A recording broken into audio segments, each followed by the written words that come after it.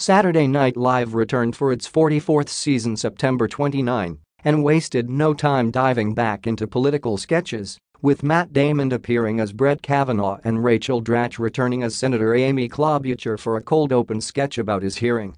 Mysteriously absent from the top of the hearing, as Alex Moffat's Chuck Grassley explained he was shadowboxing in the bathroom, Damon's Kavanaugh sat down in irate fashion and said, oh hell yeah when asked if he was ready to begin.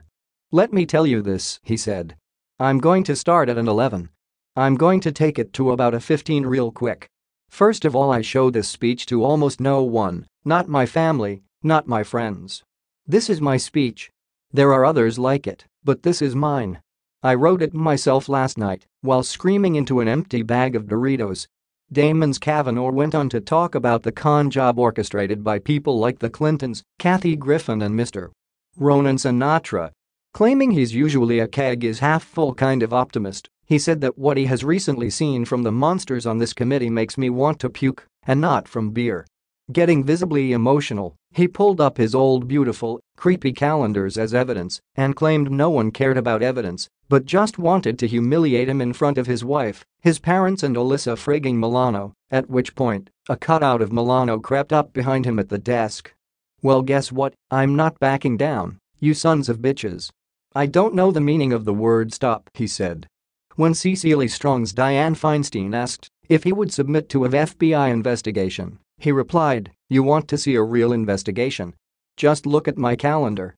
Later in the sketch, Dratch's Klobuchar questioned Damon's Kavanaugh about being a frequent drinker in high school and whether or not he ever drank too many beers. You mean was I cool? Yeah, he said. When asked if he drank so much he blacked out, he stammered for a few seconds before claiming he had just blacked out for a second right then. The sketch also covered disgust of Kavanaugh's yearbook and the false definitions he gave of certain slang sexual terms. When called out, Damon's Kavanaugh said, that's impossible because I didn't have sex for many many many years. All I did was drink a lot and not think about having sex at all. I was the proudest drunkest virgin you have ever seen, and everyone can relate to that. The sketch also featured Kate McKinnon as Senator Lindsey Graham, who started by saying, I know I'm supposed to shut up because I'm a single white male, but would not shut up because this ain't no trial, no due process. This is hell, that's what it is, it's hell.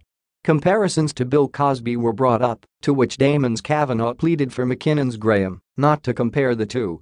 After all of this, when asked whether or not he had the right demeanor to be a Supreme Court justice, Damon's Kavanaugh said he worked his butt off to get here, I busted my buns.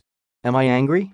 You're damn right, but if you think I'm angry now, just wait until I get on that Supreme Court, because then you're all going to pay, he said.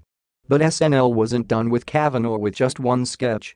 Michael Che and Colin Jost of course discussed the hearing during their Weekend Update segment as well, taking additional cracks at Kavanaugh keeping his 1982 calendar, lying about terms written in his yearbook, and showing actual clips of Kavanaugh talking about drinking beer and working out. You're not really helping yourself in a drunken assault case when you yell about how much you like drinking and how strong you are at the time, Jost said, later noting that if you created a drinking game for every time Kavanaugh lied, you'd be as drunk as he was in the summer of 1982. He also pointed out that the only ones keeping their composure during the hearing were the woman being questioned, Christine Blasey Ford, and the woman Republicans had to hire to talk to the woman being questioned. On an optics level, Jost said he understood why she was hired, but if you're not the right person to ask questions at a Senate hearing, Maybe you're not the right person to be a senator. She chimed in to say that all of this yelling and crying happened at this dude's job interview.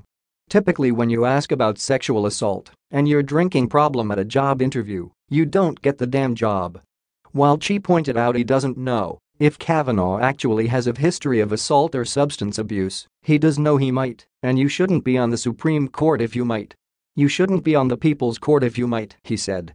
Sometimes might is enough. I don't want to pet your dog if he might bite me. I don't want to leave you in my house if you might be a crackhead. I'm not going to have sex with you if you might have dated Charlie Sheen. McKinnon also appeared in Weekend Update as Ruth Bader Ginsburg to discuss Kavanaugh's confirmation hearing. He thought his was unfair, she said. Mine was they threw me in a river to see if I float. She also had words for Jeff Flake after noting that Republicans now want an FBI investigation just to go ahead and confirm Kavanaugh anyway. Hey Jeff Flake, you can borrow a pair of my panties since you're so concerned about covering your own A she said.